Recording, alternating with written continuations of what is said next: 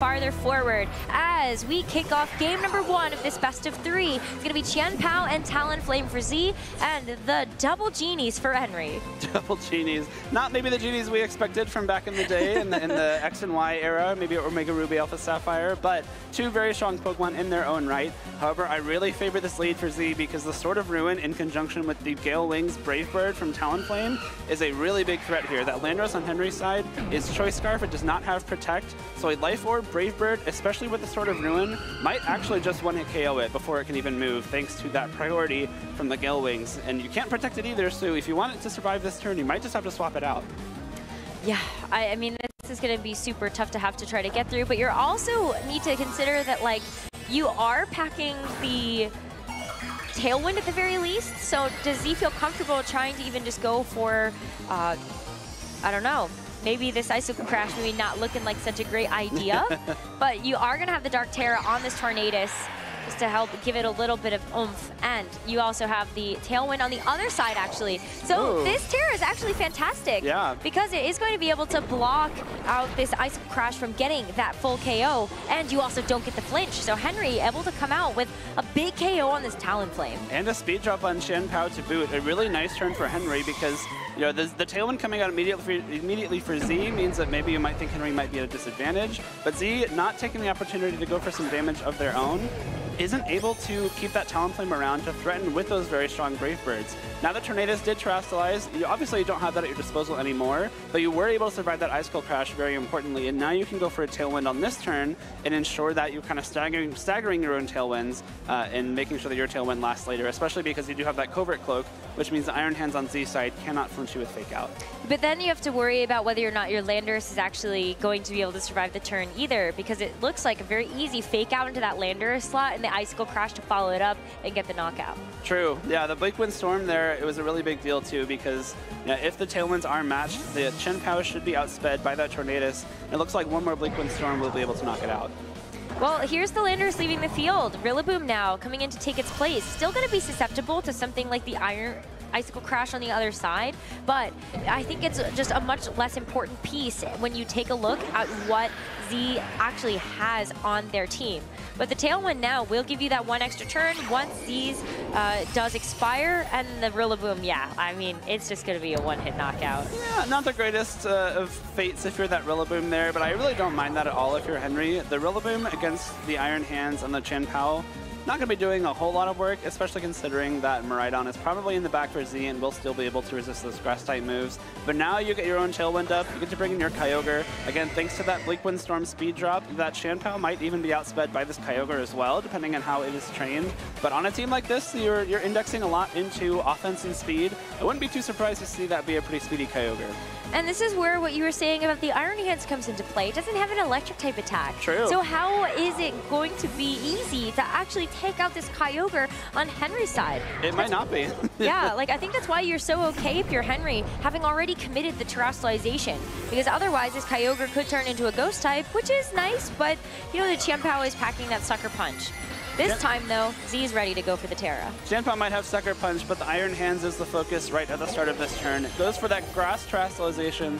Even though it doesn't have an Electric type move, will allow it to stick around and fire off multiple attacks into that Kyogre. Yeah, it's still going to be taking neutral damage from any of those fighting type attacks. And this is going to help keep this Iron Hands just a little bit safer as well as this full power Water Spout Oof. comes through. And take a look at that. I mean, that's Grass Tera, plus the natural bulk of the Iron Hands oh and the Assault Vest.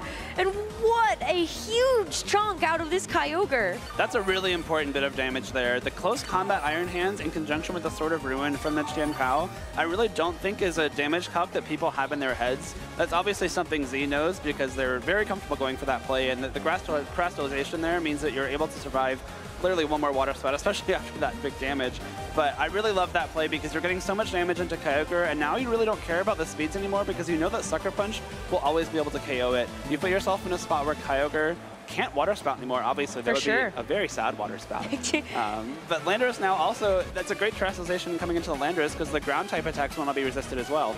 Absolutely. And now, I mean, you do now have to deal with like Sludge Bomb, which is why we're actually going to see the Sucker Punch into the Landorus, calling that there's going to be a Protect on this Kyogre, which there is not. So the Sandsear Storm is plenty to be able to pick up this Chien-Pao, and the Kyogre still gets a chance to actually follow up with the Ice Beam, which is now super effective in his Oh! Iron Hands, but the Assault Vest keeping it around to go for the Heavy Slam to finish the deal on this Landorus. I thought that Ice Beam might KO after that close combat special defense drop, but Iron Hands barely hangs on, gets that crucial heavy slam off, and now the Kyogre and Iron Hands are staring each other down. Both very weak, both knocked out by one further attack.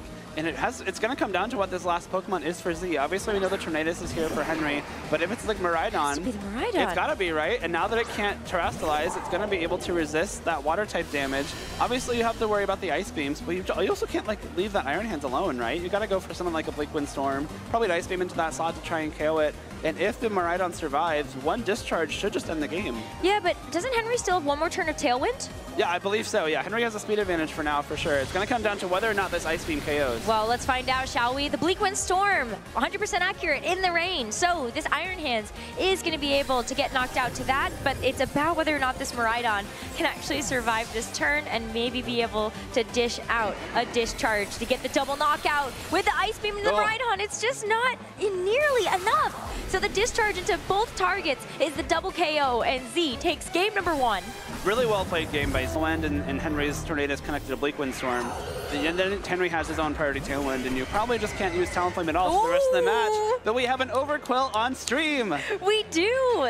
This is the first time I think we've seen an Overqwil on the VGC stream. Probably So any stream, maybe I'm- TCG, but it's certainly not in Go. Maybe, yeah, maybe not. But yeah, amazing to be able to see this. And it's going to be the Kyogre next to that Overqwil, so you get that Swift Swim activated.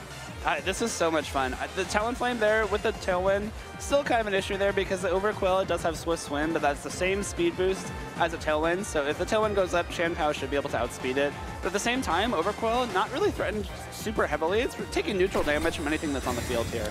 Just going to go for the Protect then. Keep itself safe. Sort of fish for what Zee could be going for in this first turn. And it's going to be a Protect from this Chien-Pao as well, as it's just a Tailwind. So entering into the next turn, Zee is going to have that speed advantage right away since we don't actually see this Tornadus on the field. Even better, you get this Water Spout into this Talonflame, which is super effective. You just get the knockout, and Zee gets to bring something else in for free. That is, I mean, that's something we highlight every time. If a Tailwind goes up on the same turn the Tailwind Setter goes down, that can be a really big deal because you get that free swap into something. You're guaranteeing that it doesn't take damage on the switch, and Miraidon comes straight in. Will very heavily threaten this Kyogre, which is a Ghost-type Tera. It cannot resist those strong Electric-type attacks. It can only make them neutral, but I think if you're facing down a Choice Specs Koraidon, Miraidon, not Koraidon, there's nothing, like, neutral is not a resist anymore. Like, No. you're just still gonna get knocked out. But that's why this switch makes so much sense here, because Mhm. Henry wants to be able to shut off this electric train right away. Yep. Because it gets rid of the Hadron engine, you're getting rid of the boost that that ability gives to this Miraidon uh, to its special attack on electric terrain. So those attacks are gonna hurt just a little bit less. But does Zee call that switch? Kind of expecting this to come through. that icicle crash definitely heading in that Wow. Rillaboom's direction.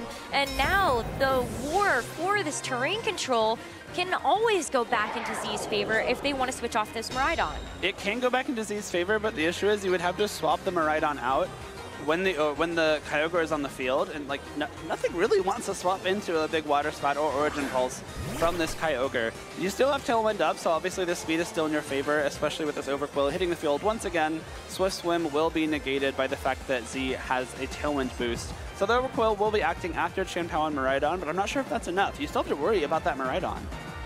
You do, because uh, you can still hurt. I mean, Hadron Engine as a multiplier might not necessarily be online, but Electro Drift is still a move that's available to it. And we're not going to have too many things that are going to be able to resist that. But it makes a lot of sense. If this Kyogre is under the threat of some of those super effective electric type attacks, just bring the Landorus in. The only problem is that that could be telegraphed and Zee could just make another call that a switcher will be made. If you try to target that Kyogre with an electric type move and an ice move, that could be very dangerous for this Landorus. You might have to trade the Miraidon though. This Overqwil will be matching the Terastallization of this Miraidon, wh- which will become a pure electric type and further boost those electric type attacks. And maybe if you if you go for Volt Switch into Landorus, I wonder if the Gunk Shot here is able to just one-hit KO this Miraidon. Maybe. It's got the poison Tera type now, Yeah. so it's going to be doing way more than what it would normally. But it's the Icicle Crash first, calling it again. Oh. That is just going to be a one-hit knockout, and another knockout that this Chien-Pao is going to be able to take. As the Volt Switch now going to be landing into this Overqwil instead. What a great coverage Oh, option, no. and it's just a one-hit knockout too. Uh. this poor Overqwil. That's, I think that's two things. He just won a KO with Icicle Crash on the swap this game.